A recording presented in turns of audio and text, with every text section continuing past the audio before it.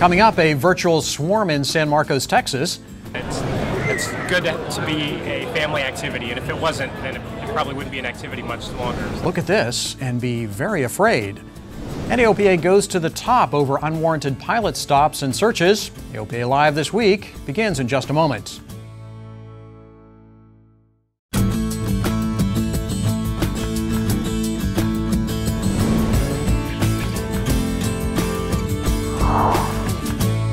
First AOPA regional fly-in is in the books and thousands of pilots have great stories to tell. Thanks for joining AOPA Live this week. I'm Tom Haines. Those who came and the aviation press tell us the AOPA San Marcos fly-in was a big hit, and we agree. Thousands of visitors descended upon the airport in south central Texas. AOPA Live's Paul Harrop found out what makes the Texas aviation community special. Let's talk about pancakes. Warm, buttery pancakes, flipped by AOPA staff. Hey, that guy looks familiar. What a way to kick off a fly-in to have some breakfast with the side of Rod Machado. My personal thought is you can catch a lot more bad guys if you chase them with a beer drum. With a full stomach, we'll set out to see the exhibitor tent. There's your friendly AOPA member services folks. And over here, we've got the Squawk Shop. They build headsets. Headsets that you can customize and kind of make your own, and uh, you're not stuck with just one color or one design type. Their best seller? Pink Camo, but more on them in another story. Out on the ramp, we've got a gathering within a gathering. The Southwest Bonanza Society made our fly in one of their fly outs.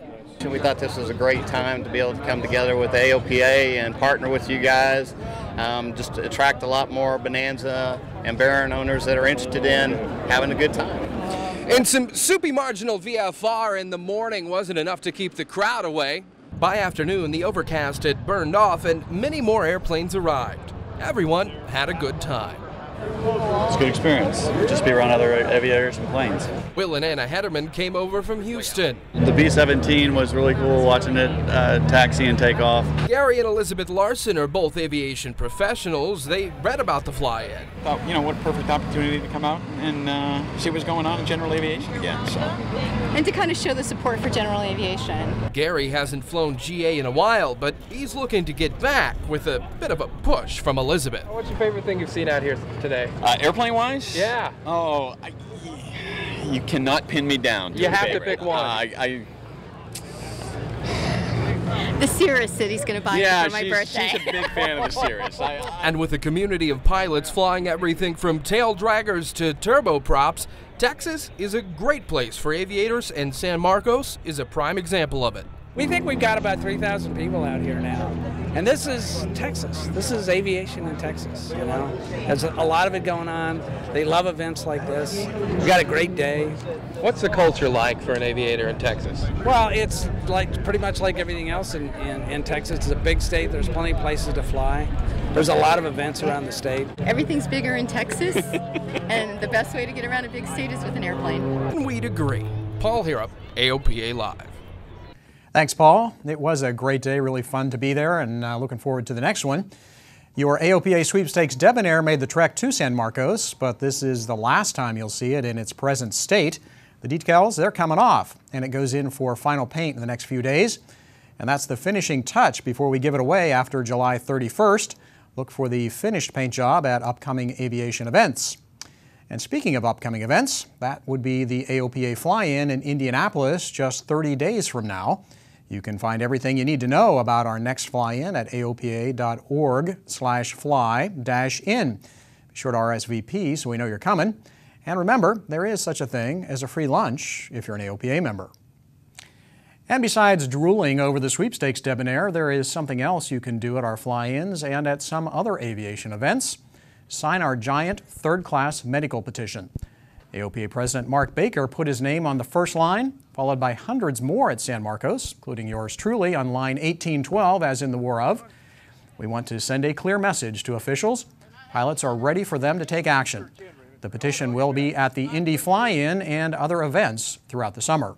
And while the FAA bureaucracy is working with all deliberate speed to come up with its ideas on how to safely reduce medical certification requirements, Things are moving forward in Congress. We now have 108 co-sponsors in the House and Senate for the General Aviation Pilot Protection Act. Let's just call that a very reliable and viable Plan B.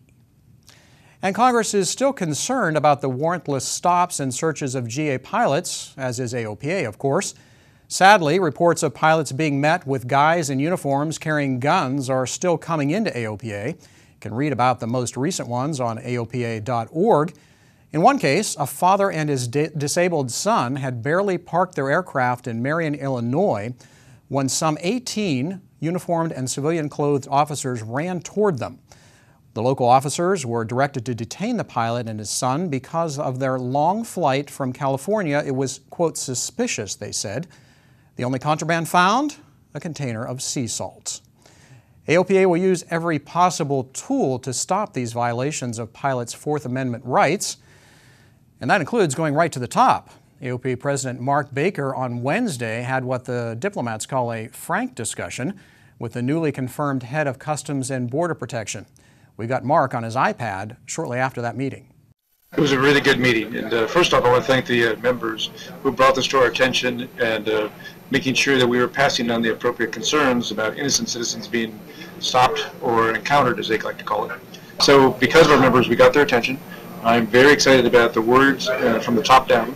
Uh, we'll make sure that the actions follow uh, by asking members to continue to brief us if there are other incidences. But I think there's a good chance we got what we wanted on this. Until it gets to be where there are zero uh, stops of innocent people, I won't be happy. Uh, but they are already acknowledged that there are going to be less stops in the future. I think the uh, the general and the commissioner expressed their uh, their concern about interrupting private citizens along the way, and, and uh, they understand that the freedom to fly is very important to our members, and that they shouldn't be harassed. And so that was from the top down.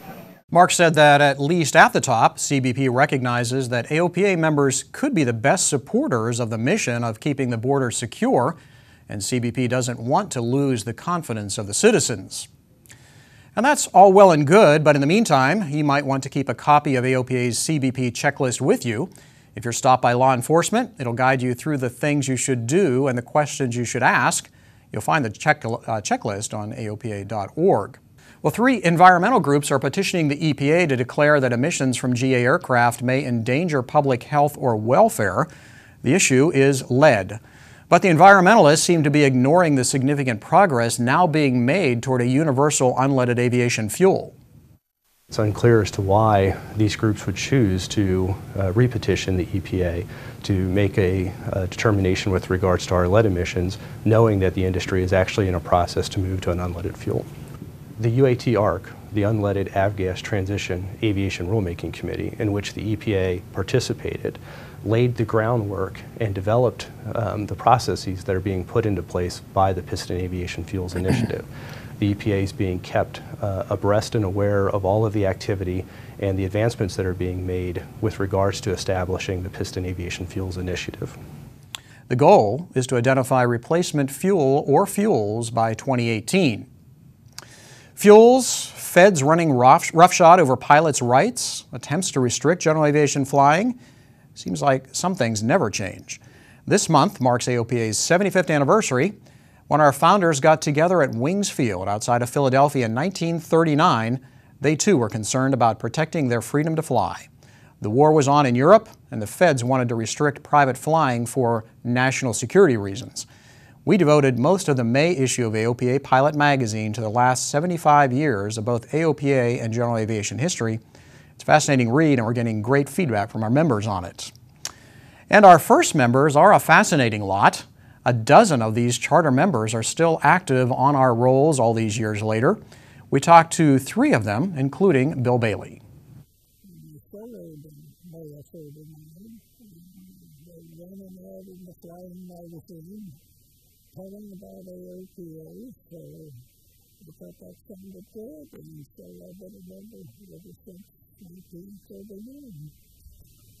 And I ended up as a member of 1084, and that's number, I guess, is the lowest number of the 12 members.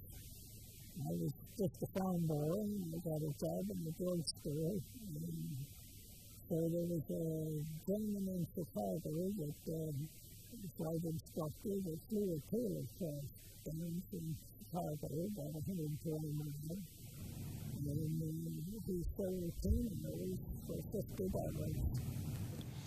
Perhaps the youngest pilot to join AOPA back in 1939 was Ed Adams.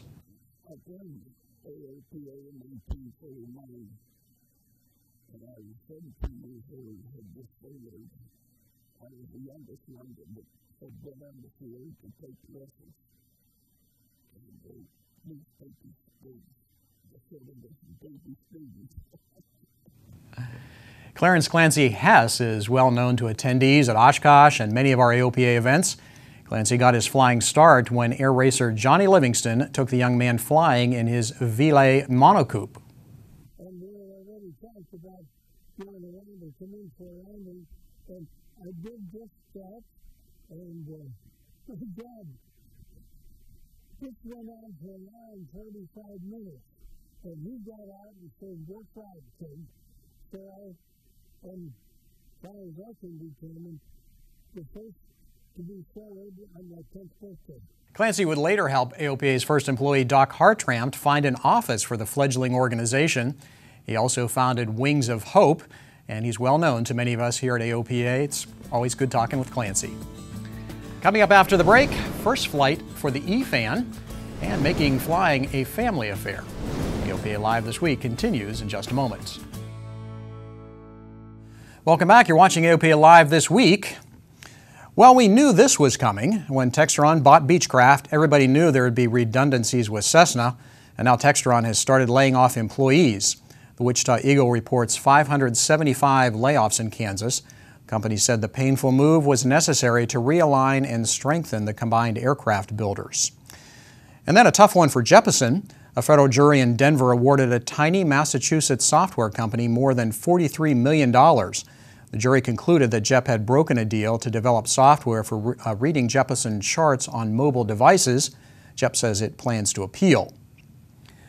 Better news for Airbus Group in France. The first flight of the company's experimental E-Fan electric airplane from the Bordeaux airport. The all-composite battery-operated aircraft uses ducted variable pitch fans. This technology demonstrator can fly about 45 minutes on battery power alone. If you'd like to experience flying in France, here's a chance to do it for free, if you're between ages 18 and 24, that is.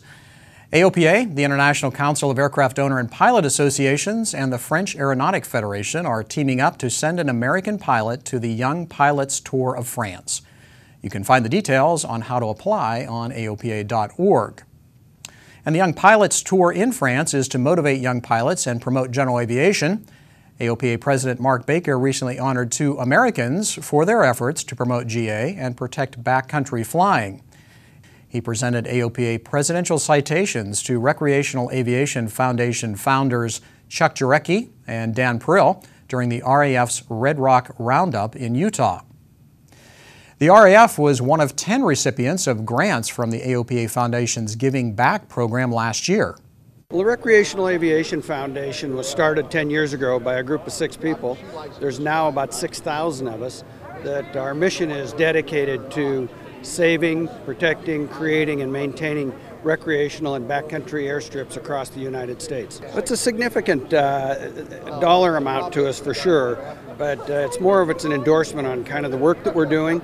But this particular grant we're going to use to uh, fund a noise study, a scientific noise study to measure the effects of uh, aircraft noise specifically on wildlife uh, at recreational and backcountry airstrips.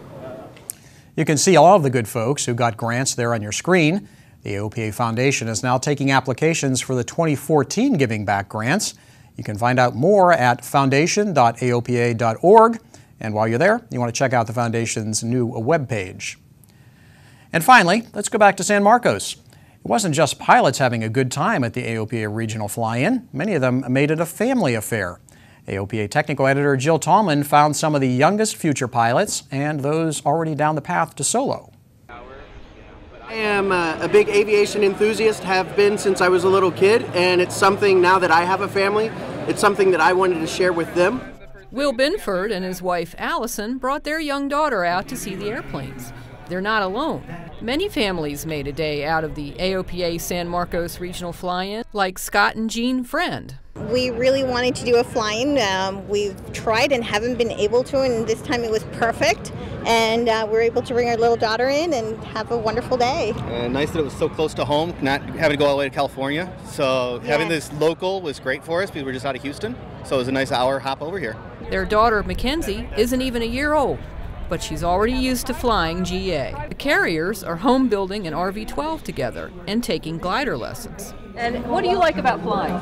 It's it's relaxing. It's yeah. And it's quiet in glider, huh? Yeah, it's quiet. It's nice. You still hear the wind, which is good to help you with speed control. There's so much to see, even the little ones held interest in the event. Definitely wanted to get get uh, this guy to go see some aircraft. So he loves airplanes, and this is the perfect place to see a whole lot of cool ones. In San Marcos, Texas, Jill Tallman, AOPA Live. Thanks, Jill.